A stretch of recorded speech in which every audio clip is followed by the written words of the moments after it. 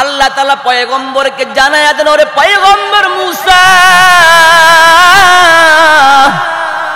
এমন একটা জাতি আসতেছে, যেই জাতিটা হলো আখিন জবানার পয়গম্বর। ওই পয়গম্বর, ওই পয়গম্বরের অনুসারী উম্মতরা এমন হবে যে উম্মতদের সঙ্গে আমি পর্দাবিহীন, তাদের সঙ্গে প্রতিদিন হাজার হাজার বার কথা বলব। সেটা হলো আর কোন জাতি নয়, সেটা হলো উম্মতি মোহাম্মদ। উম্মতি মোহাম্মদ যখন কোরআন তেলাওয়াত করবে, কি করবে? উম্মতি মোহাম্মদ যখন আপনার উপর নাজিল করতো, তেলাওয়াত কোরআন করিম, কোরআনে হাকিম তেলাওয়াত করবে গো পয়গম্বর। আমি আল্লাহর সঙ্গে ডাইরেক্ট কথা বলা হয়ে যাবে। ওরে মুসলমান ইমানদার, আল্লাহর গোলাম। এটা হলো আল্লাহ নবীর একটা এক্সট্রা বৈশিষ্ট্য। আল্লাহ নবীকে আল্লাহ তালা সহিবুল মেয়ারাজ দান করেছেন। আল্লাহ রসুল সাল্লাম যখন হাতিমে কাবা থেকে রওনা হলেন, জিব্রাইল আল্লাহর পয়গম্বরকে নিয়ে যখন ছুটলেন, আল্লাহর পয়গম্বর পথিমধ্যে তার বোরাককে লেন করলেন একটা মরুভূমির ময়দান। জিব্রাইল ডাক দিয়া বলেন গো পয়গম্বর, আপনি নামেন এই জায়গায় নেমে যান, একটু আল্লাহর দরবারে দোয়া করেন। আল্লাহর পয়গম্বর বলেন, এমন অন্ধকার মরুভূমি, এমন জায়গায় কেমন নামাইলার জিব্রাইল? পয়গম্বরকে জিব্রাইল ডাক দিয়া বলে, ওরে পয়গম্বর, দিনের দাওয়াত দেওয়া শুরু করেছেন বুঝতে পেরেছেন মক্কাবাসের হালত কিন্তু ভালো না। আপনাকে কিন্তু মক্কাবাসী মক্কায় থাকতে দিবে না। কিছুদিন পরে পয়গম্বর আপনাকে হিজরত করে এই ইয়াসরিফ মদিনায় আপনাকে আসতে হবে। এই জায়গার নাম হলো ইয়াসরিফ পূর্ববর্তী মদিনা। আপনি নামেন একটু আল্লাহর দরবারে দোয়া করেন। আল্লাহর পয়গম্বর দোয়া করলেন। আবার আল্লাহর পয়গম্বর সফর শেষ করে আবার বোরাক লেন শুরু হয়ে গেল। আবার চলতেছেন চলতেছেন রে মুসলমান। আর একটা পাহাড়ের মধ্যে বোরাক লেন করালেন জিব্রাইল। আল্লাহর পয়গম্বরকে ডাক দিয়া বলেন গো পয়গম্বর, আপনি একটু নামেন, আল্লাহর দরবারে দোয়া করেন। কয়, কেন? বলে, এটা এমন একটা পাহাড়, যে পাহাড়ের মধ্যে যেই পাহাড়ের কসম আল্লাহ নিজে করেছেন। যেই পাহাড়ের কথা আল্লাহ বারবার কোরআনের মধ্যে বলেছেন, সেটা হলো তুর পাহাড়, যেই পাহাড়ে পয়গম্বর মুসা আল্লাহর সঙ্গে কথা বলেছে। আপনি নেমে যান গো পয়গম্বর, আপনি একটু আল্লাহর দরবারে দোয়া করেন। আল্লাহর পয়গম্বর নামলেন, দোয়া করলেন, দোয়া শেষ করলেন, আবার বোরাকলেন শুরু হয়ে গেল। আবার বোরাক চলতেছে, আবার নামলেন। আবার পয়গম্বর জিজ্ঞাসা করলেন, ওগো জিব্রাইল, ভাই জিব্রাইল, শোনো, এই জায়গায় এত সুঘারান কেন? এত সুবাস কেন? আমাকে একটু জবাব দাও। জিব্রাইল আমিন ডাক দিয়া বলে, ওগো পয়গম্বর,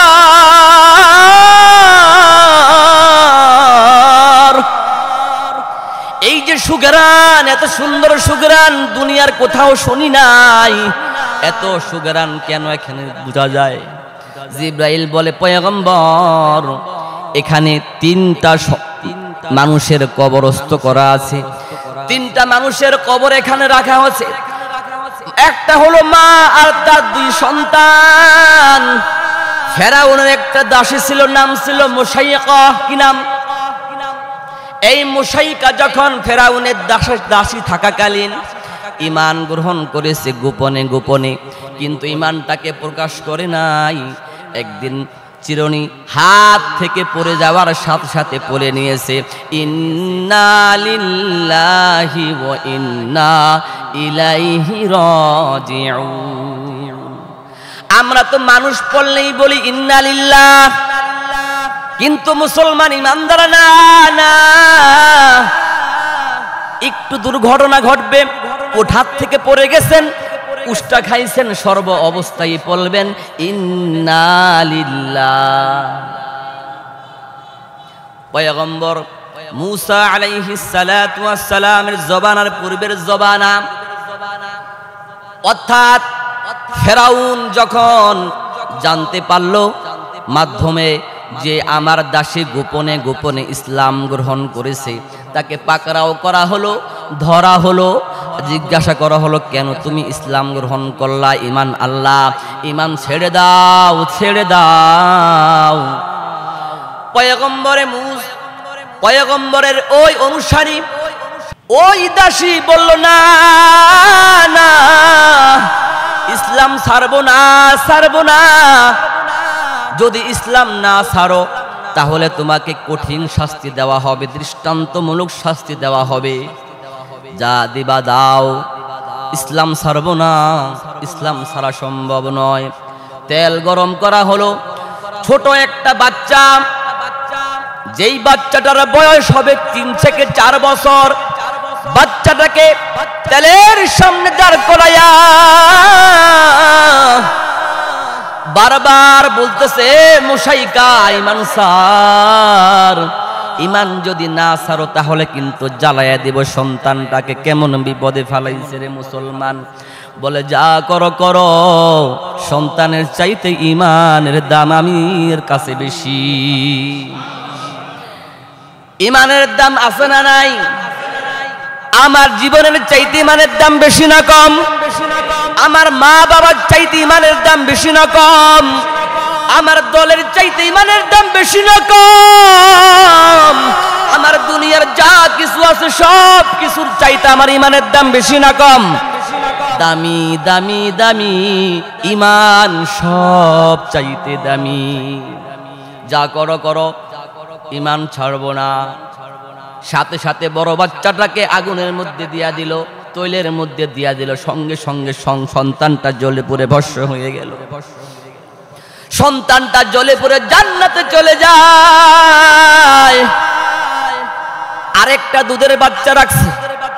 দুধের বাচ্চাটাকেও মাঠ থেকে সিনায়া নিয়া আবার তলির সামনে দাঁড় করাইয়া আবার বলতেছে মুসাইকা ইমাম স্যার, ইমান যদি না সারো প্রথম বাচ্চার মতো দ্বিতীয় বাচ্চাটাকেও এই শাস্তি দেওয়া হবে।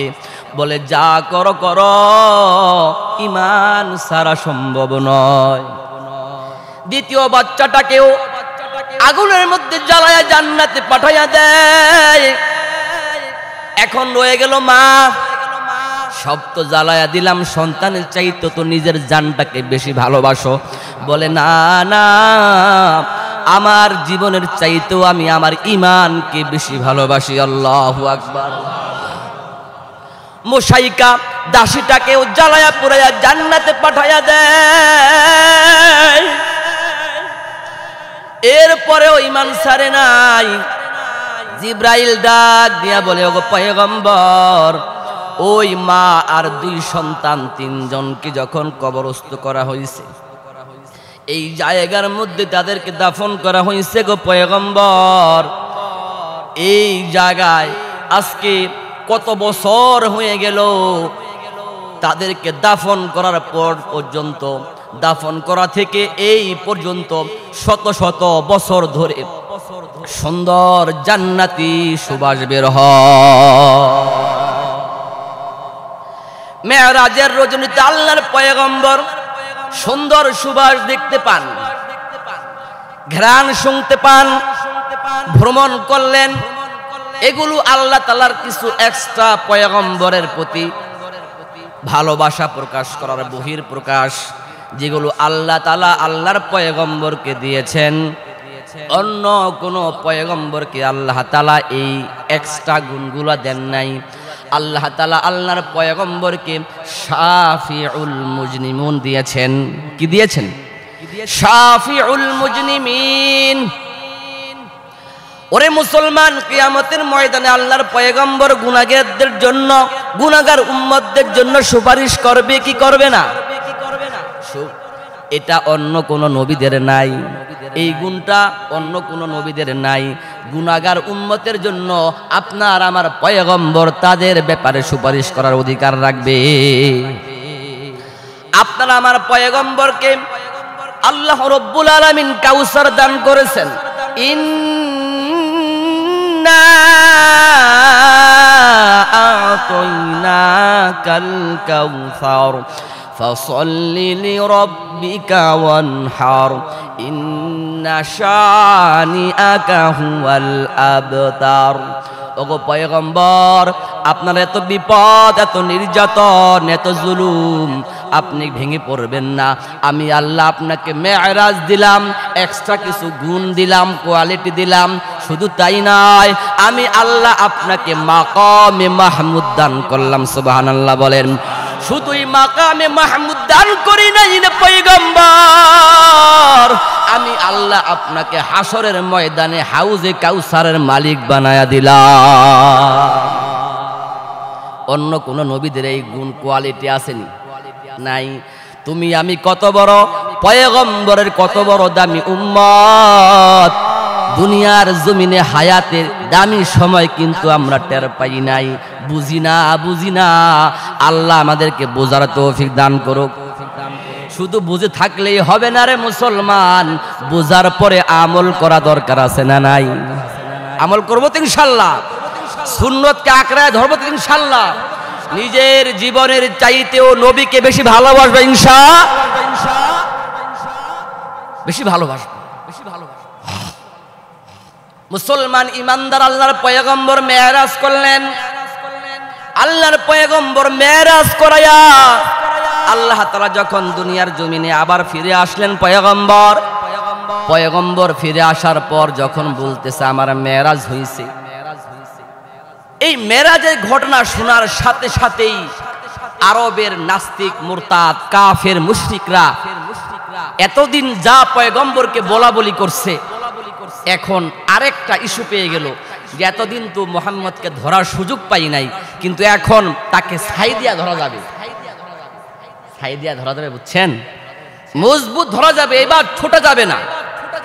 কারণ এক রাতেই কি মোহাম্মদ মক্কাতুল মোকাররমা চলে গেলেন বাইতুল আকসা। ওখান থেকেই প্রথম আসমান, দ্বিতীয়, তৃতীয়, চতুর্থ, পঞ্চম, ষষ্ঠ, সপ্তম আসমান পাড়ি দিয়ে আরশে আজিম সিদ্ধাতুল মুনতাহা সব জান্নাত, জাহান্নাম দেখে আল্লাহর সাথে কথা বলে আবার রাতের কিছু অংশেই ফিরে আসলেন। এটা সম্ভব নয়। কাফেররা এটাকে অস্বীকার করে বসল।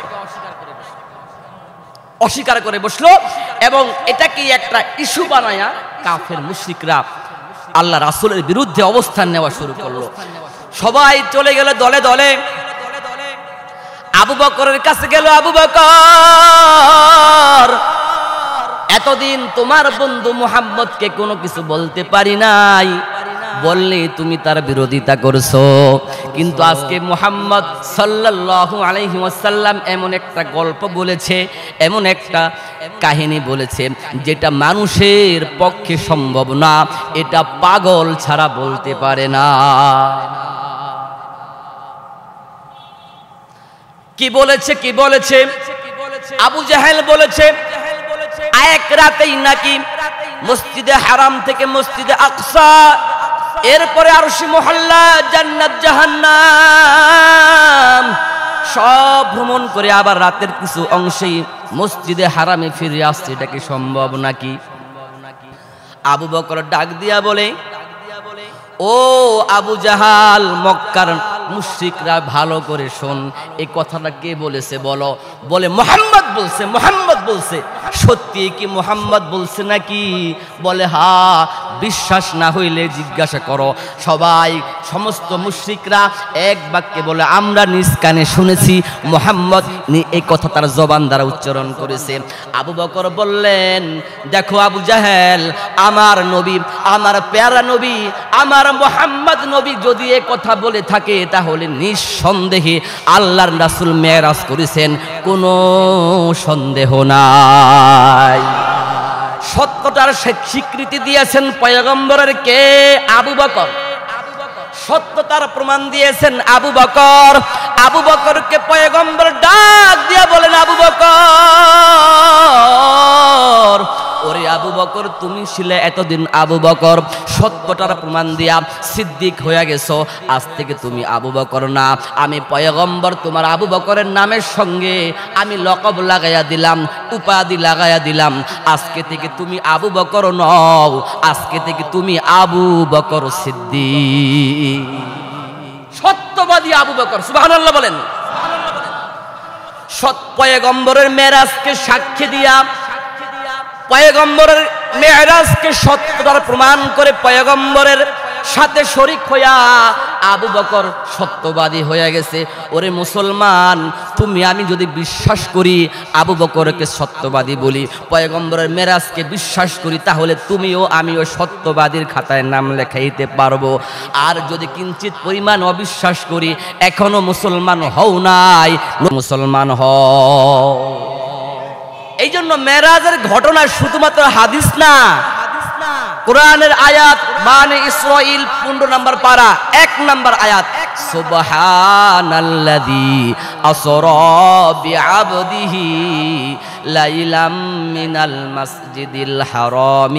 ইলাল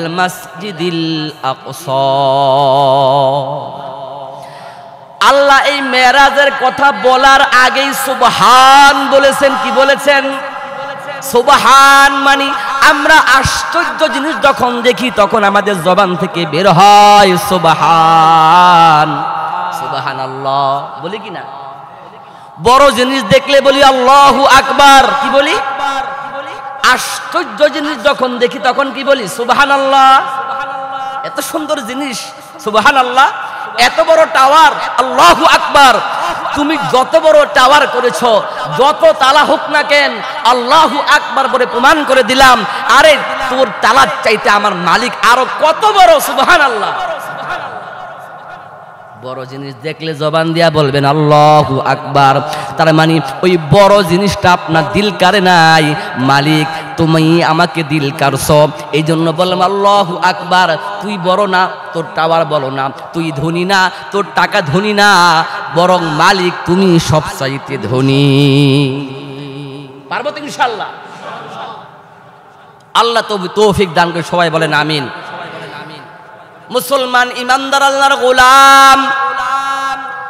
আল্লাহ রাসুল সাল্লাল্লাহু আলাইহি ওয়াসাল্লাম মেরাজে গেলেন। আল্লাহর রাসূল বাইতুল আকসায় চলে গেলেন। বোরাকে বাইতুল আকসায় গিয়া আল্লাহর পয়গম্বর জিব্রাইল আলাইহিস সালাতু ওয়াসসালাম বোরাকের লাগামটাকে বাইতুল আকসায় একটা পাথরের আংটার সাথে বেঁধে দেন। পয়গম্বর গিয়া দেখেন সকল পয়গম্বররা সেই মসজিদে আকসার মধ্যে উপস্থিত। জিব্রাইল গিয়া সাথে সাথে আজান দিয়া দিলেন, নামাজের দরকার আছে না নাই? নামাজকে পড়াবেন রে মুসলমান। নামাজকে পড়াবেন বাবা আদম। মনে মনে ভাবতেছেন, আমি হইলাম সবার মুরব্বী, সবার বাবা। ইমামতির জায়গা আমার। ইব্রাহিম বলে, না না, আমি হইলাম জাতির পিতা ইব্রাহিম ও খলিলুল্লাহ। আল্লাহ আমাকে খলিলুল্লাহ উপাধি দিয়েছেন। আমি আল্লাহর জন্য পাগল। আমার ইমামতির জায়গা। নোহ পয়গম্বরে বলেন, পৃথিবীর সব ধ্বংস হয়ে গেছে। আবার দুনিয়াকে জারি করলাম আমার কালিমার দাওয়াতের মাধ্যমে। আমি আজকে ইমামতি করব। সবাই আশা নিয়ে বসে আছে। জিব্রাইল আজান দিয়া পয়গম্বরকে হাত ধরে ধরে সামনে দাঁড় করায়া দেয়। ওরে মুসলমান ইমানদার ওই মেরাজের রাত্রে বাইতুল আকসায় পয়গম্বর ইমামতি করলেন আর একটা লকব লাগাইলেন, ওগো পয়গম্বর, আমি আপনাকে ইমামুল মুরসালিন বানাইছি, মুখে বললেই হবে না। আমি আল্লাহ মসজিদে আকসায় গিয়া সমস্ত পয়গম্বরদের ইমামতি বানাইয়া আপনাকে ইমামুল মুরসালিন লকব লাগাইয়া দিলাম। নবীদের ইমামকে ইমামুল মুরসালিন মানে কি? নবীদেরও যিনি ইমাম। সুবাহান আল্লাহ এত বড় দামি নবীর দামি উম্মত আমরা সুবাহান আল্লাহ বলেন। আল্লাহর পয়গম্বর সেখানে ইমামতি করে এরপর উদ্ধ জগতে গমন করবেন। আল্লাহর পয়গম্বর উদ্ধ জগতে গমন করলেন। কোথায় সেই লৌহে মাহফুজ? আল্লাহর পয়গম্বর লহমে লৌহে মাহফুজ ভ্রমণ করলেন। লৌহে মাহফুজে গিয়া আল্লাহর পয়গম্বর সরাসরি সচক্ষে লৌহে মাহফুজ দেখেছেন। আল্লাহ তালা বলেন, আমি আমার পয়গম্বরকে লৌহে মাহফুজ সচক্ষে দেখায়া আবার দুনিয়ার জমিনে পাঠায়া দিছি।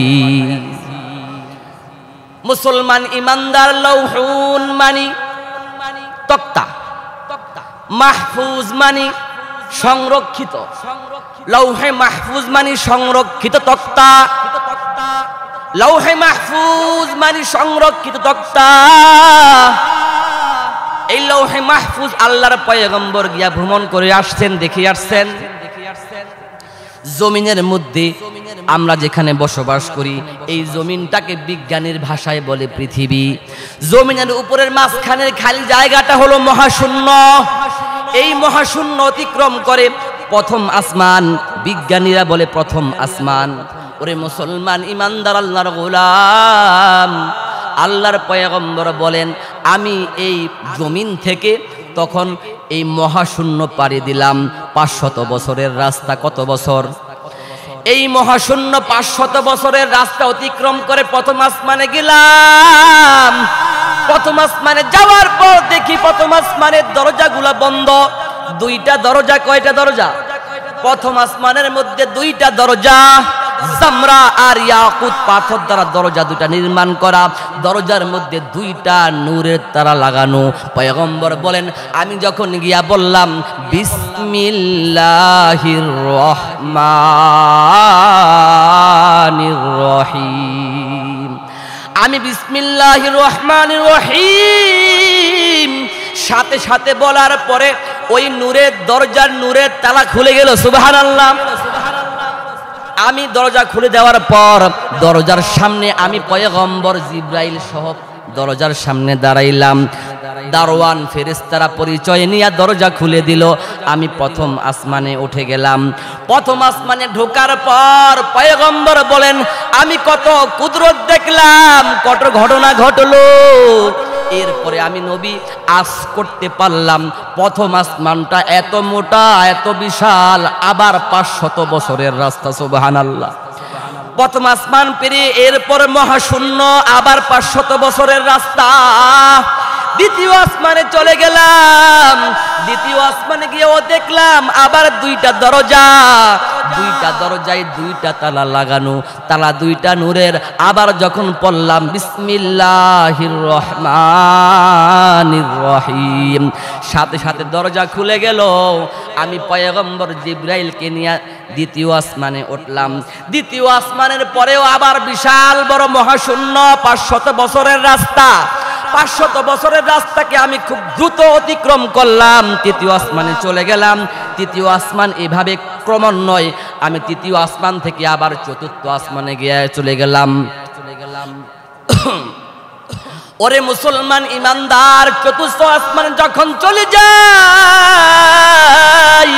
চতুর্থ আসমানে গিয়া দেখলাম, জমিনের মধ্যে যেই সূর্য আলো দেয়, তাপ দেয়, আছে না নাই? যায়া দেখি চতুর্থ আসমানে তাপ দেওয়া, আলো দেওয়া সূর্য চতুর্থ আসমানে বানানো। সূর্য কয় নাম্বার আসমানে? চতুর্থ আসমানে। উপরেও তিনটা আসমান, নিচেও তিনটা আসমান, মাঝখানের আসমানে সূর্য লাগায় রাখছেন কে? ওরে মুসলমান ইমানদার আল্লাহর গোলাম। তিনটা আসমান ভেদ করে জমিনের মধ্যে আলো দেয়। আবার প্রশ্ন করতে পারো, ওরে মুসলমান, প্রশ্ন করতে পারো, তিনটা আসমান ভেদ করে জমিনের মধ্যে কেমন করে সূর্য আলো দেয়? তোমার আমার প্রশ্নের জবাব মুফাসরিন কেরাম দিয়ে দিয়েছেন। তোমার আমার প্রশ্নের জবাব মুফাসরিন কেরাম দিয়েছেন। বলে দিয়েছেন, আল্লাহ রব্বুল আলামিন যতগুলো আসমান বানাইছেন, যতগুলো আসমান আল্লাহ বানাইছেন, সবগুলো আসমান আল্লাহ তাআলা স্বচ্ছ গ্লাস দ্বারা ফিটিং করছে। চতুর্থ আসমান, ওখান থেকে গ্লাস ফিটিং করা, সূর্য লাগানোরে মুসলমান, সূর্য ওখান থেকে তোমাকে আমাকে জমিনে আলো দেয়, তাপ দেয়। সূর্য শুধু আলো দেয়, তাপ দেয়, এটাই সীমাবদ্ধ নয়। মনে করো না, সূর্য আর কোনো কাজ করে না, শুধু তাপ দেয়, আলো দেয়। তুমি যখন খেতে ফসল ফলাও, গাছে যখন ফসল ফলে, গাছের মধ্যে যখন ফল হয়, ফসল হয়, আল্লাহ বলেন, ওই গাছের ফল আর ফসলের কালার লাগাই, রং লাগাই আমি আল্লাহ। সূর্যের মাধ্যমে গাছের ফলের রং লাগান, কালার লাগান আল্লাহ। আল্লাহ বলেন, শুধু রং লাগাইলে হবে না রে মুসলমান। স্বাদের দরকার আছে না নাই? স্বাদের দরকার আছে। শুধু রোদ্রের তাপ দিয়া রং লাগাইলাম, ফল ফসলের রং লাগাইলাম হবে না। স্বাদেরও দরকার আছে। আমি আল্লাহ রাতের পূর্ণিমার চাঁদ দিয়া দিলাম। পূর্ণিমার চাঁদের মাধ্যমে তোমার ফসলের আর ফলের স্বাদ বাড়াইয়া দিছেন আল্লাহ। ওরে মুসলমান ইমানদার, আল্লাহর গোলাম। আমি আল্লাহ সূর্যের মাধ্যমে সূর্যের মাধ্যমে তোমার ফল, ফসলের কালার বানাইলাম, রং রং বানাইলাম, চাঁদের আলোর মাধ্যমে স্বাদ বানাইলাম, পূর্ণ করে দিলাম। জোরে বলেন, আল্লাহ আকবার। পয়গম্বর বলেন, এরপরে আমি চলে গেলাম, আমি চলে গেলাম, চতুর্থ আসমান পাড়ি দিয়ে পঞ্চম আসমান। ক্রমান্বয়ে একই দূরত্ব একই দূরত্ব, একই ব্যবধান। সবগুলো আসমান পেরিয়ে দিয়ে যখন ষষ্ঠ আসমান সপ্তম আসমানে চলে যায় পয়গম্বর বলেন, সপ্তম আসমানে গিয়া দেখি বাইতুল মামুর ফেরেস্তাদের কাবা ফেরেস্তারা কাবার মধ্যে তফ করতেছি। ওরে মুসলমান ইমানদার আল্লাহর গোলাম, তোমার আমার জমিনের মধ্যে আল্লাহ একটা কাবা বানাইছেন, আছে না নাই? তোমার আমার জমিনের মধ্যেও একটা কাবা, এই কাবার একেবারে হুবহুব বরাবর সপ্তম আসমানে আরেকটা কাবা বানাইছেন বাইতুল মামুর। এটা জমিনেরটা তোমাদের আমাদের কাবা। আর সপ্তম আসমানে বানাইছেন ফেরেশতাদের জন্য কাবা, সুবহানাল্লাহ বলেন। সপ্তম আসমান থেকে পয়গম্বর বলেন, সপ্তম আসমানের বাইতুল মামুর, এর বরাবর যদি একটা ঢিল ছেড়ে দেওয়া হয় বরাবর আসতে আসতে বাইতুল্লাহর কাবা এসে পড়ে যায় যাবে, সুবহানাল্লাহ। পয়গম্বর বলেন, সেখানে আমি দেখলাম পয়গম্বর ইব্রাহিম খলিলুল্লাহ। পয়গম্বর ইব্রাহিম খলিলুল্লাহ বাইতুল মামুরের কাবার সাথে ট্যাগ লাগাইয়া শিশু বাচ্চাদেরকে তালিম দিতেছে। পয়গম্বর বলেন সপ্তম আসমান ভেদ করে আমি আরও উপরে আরও উপরে চলে গেলাম। উপরে গিয়া দেখলাম সিদরাতুল মুনতাহা, বরুই গাছ, সীমান্তর বর্ডার? কিসের বর্ডার? কিসের বর্ডার?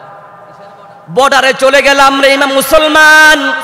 বর্ডার শেষ করে আবার চলে গেলাম, আরও উপরে গিয়া দেখি অন্ধকার অন্ধকার। অন্ধকারকে অতিক্রম করলাম, আর উপরে চললাম। গায়ে দেখি পানি পানি আর পানি। এই পানিকেও আমি অতিক্রম করলাম। গিয়া দেখলাম আল্লাহ পাকের আরস নূরের তৈরি আরস আল্লাহু আকবার। আল্লাহ তাআলার নূরের তৈরি আরস বানাইছেন, এত সুন্দর এত সুন্দর। আটজন ফেরেশতা কাঁধে নিয়ে দাঁড়ায় রইছে। এই এক প্রত্যেকটা ফেরেস্তার পা জমিনের নিচে। ওরে মুসলমান, কত বড় আসমান, কত বড় আসমান। প্রথম আসমানের তুলনায় জমিনটা একটা বলের মতো, কিসের মতো? দ্বিতীয় আসমানে এত বড়, দ্বিতীয় আসমান থেকে প্রথম আসমানটা একটা বলের মতো। চতুর্থ আসমানে যাও, তৃতীয় আসমান থেকে দ্বিতীয় আসমানটা একটা বলের মতো, চতুর্থ আসমান থেকে তৃতীয় আসমান দেখলে মনে হয় একটা ছোট্ট বলের মতো। এভাবে সপ্তম আসমান থেকে দুনিয়ার সব আসমানগুলো একটা বলের মতো দেখা যায়। এর উপরে আল্লাহর আরস কত বড় কত বড়। মুসলমান ইমানদার আটজন ফেরেস্তা কাঁধে নিয়ে দাঁড়ায় রইছেন। এর উপরে উঠে গেলাম। উঠে দেখলাম আরেকটা কুরসি, আরেকটা চেয়ার। আল্লাহ নূরের তৈরি চেয়ার। ওই নূরের তৈরি চেয়ার আবার আটজন ফেরেস্তা কাঁধে নিয়ে দাঁড়ায় রইছে। আমি সব ঘুরে ঘুরে দেখলাম, আমি সব দেখে দেখে আবার আরও সে চলে আসলাম। আবার আরও সে দেখলাম, সেখানে একটা লৌহে মাহফুজ রাখা, সংরক্ষিত তক্তা। যেই তক্তার মধ্যে দেখলাম, তিরিশ পারা কোরআন সেখানে হুবহুব লেখা। দুনিয়ার জমিনে তুমি, আমি যে কোরআন পড়ি, কোরআন তেলাবাদ করি, কোরআন শিখি, কোরআন শিখাই, ওরে মুসলমান, কোরআনের শুরুতে আলহামদু সুরা ফাতেহা আছে না নাই? পয়গম্বর বলেন, আমিও দেখলাম সুরা ফাতেহা লৌহে মাহফুজের শুরুতে, দুনিয়ার জমিনেও শুরুতে। আমি দেখলাম সুরা ফাতিহার পরে সুরাতুল বাকারা, লৌহে মাহফুজ সুরা ফাতিহার পরে সুরা বাকারা। হুবাহুব লৌহে মাহফুজের কোরআন দুনিয়ার জমিনে রাখা। আল্লাহর পয়গম্বর বলেন, আল্লাহ তালা বলেন, আলিফ লাম মিম দালিকাল কিতাব, লা রইবা ফি। আল্লাহ তালা বলেন, এটা এমন একটা কিতাব জালিকা দ্বারা ইশারা দিছেন এই দুনিয়ার কিতাব না। জালিকা দ্বারা ইশারা করছেন রে দুনিয়ার ইমানদার মুসলমান জালিকা মানি হলো লৌহে মাহফুজের সংরক্ষিত কিতাব। আল্লাহর পয়গম্বর মেরাজকে আমরা বিশ্বাস করি কিনা? সন্দেহ আসেনি? সন্দেহ থাকলে মুসলমান হও না, ইমানদার হও নাই। এই জন্য ইমানকে বদ্ধমূল করো, নিঃসন্দেহে বিশ্বাস করতে হবে মেরাজ সত্য। দুনিয়ার সব টাইম স্পিডকে আল্লাহ কন্ট্রোল করলেন। সব কিছু স্তব্ধ করে আল্লাহর পয়গম্বরকে আল্লাহ মেরাজ করাইছেন। আমরা বুঝি নাই, টের পাই নাই। দুনিয়ার প্রধানমন্ত্রী, দুনিয়ার এমপি মন্ত্রী, কোনো ভিআইপি মানুষ যখন রাস্তায় বের হয়, আশেপাশে জামজট সব কিছু আগে থেকে ক্লিয়ার এখন প্রধানমন্ত্রী যাবে, মাননীয় মেয়র যাবে, মাননীয় মন্ত্রী যাবে, রাস্তা দিয়া অন্য কেউ চলাচল করতে পারবে না। ওরে দুনিয়ার ইমানদার মুসলমান, দুনিয়ার ব্যাপারে এটা বুঝলা, আল্লাহ বুঝি আল্লাহর পয়গম্বরের ব্যাপারে এমন জিনিস বুঝেন না বুঝেন না। বুঝেন নাই? বুঝেন নাই? আমরা দুনিয়ার ব্যাপারে ইজ্জত বুঝলাম, কিন্তু আল্লাহ বুঝি আল্লাহর পয়গম্বর ইজ্জত বুঝেন না। আল্লাহ বুঝেন আল্লাহ বুঝেন। দুনিয়ার সব টাইমকে আল্লাহ স্পিড বন্ধ রাইখা, আল্লাহর পয়গম্বরকে মেরাজ করেছেন। তুমি আমি মনে করছি ঘুমায় রইছি, কখন করল? না না। তুমি আমার ঘুমায়া ঘুমায়া হাজার হাজার বছর কাটায়া দিছি। মুসলমান ইমানদার। এটা হলো আমাদের দেশের মেরাজ এই মেরাজকে পেয়ে আমাদের সর্বপ্রথম কাজ হলো একে নির্দ্বিধায়, নিঃসন্দেহে বিশ্বাস করতে হবে। বিশ্বাস করতে কোনো সন্দেহ, সংশয় হতে পারবে না। আল্লাহ নবী মেরাজে গিয়েছেন, বলেছেন, বাস, বিশ্বাস করে ফেলেছি, কোনো সন্দেহ নাই। মুসলমান ইমানদার আল্লাহর গোলাম। কাফের মুশরিকরা আল্লাহর পয়গম্বরকে প্রশ্ন করে, খোঁচায়? ওরে মোহাম্মদ, ঠিক আছে, একটু টেস্ট করি। তুমি মেরাজে গিয়েছো, একটু কি করি? টেস্ট করি, যাচাই বাছাই করি। পয়গম্বরকে যাচাই বাছাই করার জন্য প্রশ্ন করা হলো। আর সে মহল্লার খবর জানি না, চাঁদের খবর জানি না, মঙ্গল গ্রহর খবর জানি না, আরশের খবর জানি না, কিন্তু মসজিদে আকসা এর খবর তো নেওয়া যাবে এটা দুনিয়ায় আসে না নাই? আল্লাহর পয়গম্বরকে প্রশ্ন করা হয় পয়গম্বর আপনি বলেন। সত্যি যদি আপনি মেয়ারাজ করে থাকেন আপনি বলে দেন বাইতুল মোকাদ্দাসের দরজা কয়টা? বাইতুল মুকাদ্দাসের সিঁড়ি কয়টা? বাইতুল মুকাদ্দাসের মিনার কয়টা? কোন দিকের গেট কয়টা আছে? টাইস কোনটা কেমন? এটা আপনি বলে দেন। এখন আপনাদেরকে প্রশ্ন করি, যদি জীবনে কোনো মসজিদে যান, এক উক্ত নামাজ পড়ার সুযোগ পান, আপনি কি গিয়া টাইস গনবেন, জানালা গনবেন, ফ্যান গনবেন কিনা? সম্ভব না। এক জায়গায় গিয়ে নামাজ পড়ছেন, নামাজের পরে যদি এখন কেউ বলে, নামাজ তো পড়ে আসছো, ফ্যান কয়টা কাও। এসি কয়টা লাগানো আছে বলো? সিঁড়ি কয়টা বলো? আল্লাহর পয়গম্বরকে এমন আজগবি কিছু প্রশ্ন করা হয়েছে। আল্লাহর পয়গম্বর তো বিচলিত হয়ে গেছেন। এগুলোকে আমি গমতে গেছিলাম নাকি? আল্লাহর পয়গম্বরকে আল্লাহ তালা বললেন, ওরে পয়গম্বর! আপনি বিচলিত হবেন না। আপনি পেরেশানি হবেন না গো পয়গম্বর। আমি আল্লাহ তাআলা আপনার সামনে বাইতুল মোকাদ্দাস মসজিদ আকসাকে আপনি ঝোলাইয়া দিলাম ফটো ফটোকপি হিসাবে দাঁড় করাইয়া দিলাম। আপনি দেখে দেখে আপনি মসজিদে হারামের সকল দৃশ্যগুলা বলে দেয় জিব্রাইল একেবারে বাইতুল মুকাদ্দাসকে সামনে আইনে ফটোকপি রাখছে। এই দেখেন সিঁড়ি গনেন। বলে দেন সিঁড়ি এই কয়টা? জানলা এই কয়টা? ফ্যান এই কয়টা? হুবহুব গইনা গইনা লেখা লেখা কাফের মুশরিকা তদন্ত করেছে যে আসলে মোহাম্মদ যা বলেছে এক ইঞ্চি, এক বিন্দু পরিমাণ মিথ্যা নাই, কিন্তু আফসোস হলো কপাল খারাপ ইমান গ্রহণ করতে পারেনি। আল্লাহ এদের সহি বুঝ দেন নাই। এ জবানায়ও একটা গ্রুপ থাকবে, তাদেরকে আল্লাহ কি করবে না? সহি বুঝ দিবে না। ভবিষ্যতেও থাকবে কিনা কিয়ামত পর্যন্ত গ্রুপ থাকবে, দল থাকবে, আল্লাহ এক দল ইমান দিবে, এক দলকে আল্লাহ বেঈমান বানায় দিবে। এখন কি ইমানদারের দলভুক্ত হতে চাই নাকি? বেঈমানের। আল্লাহ পাক আমাদের সবাইকে ইমানদারের দলভুক্ত হওয়ার তৌফিক দান করুন সবাই বলেন, আমিন।